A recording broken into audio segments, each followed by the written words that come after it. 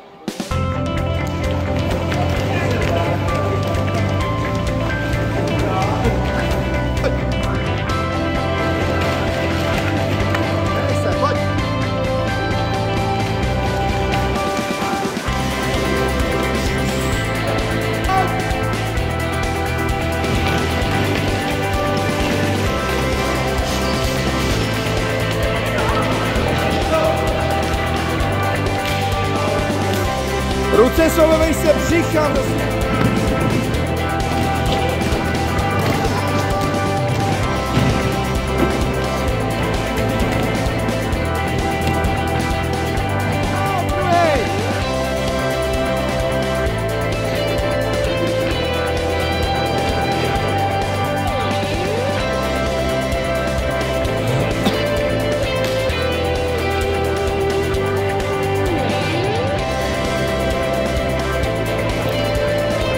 dois na parede, na.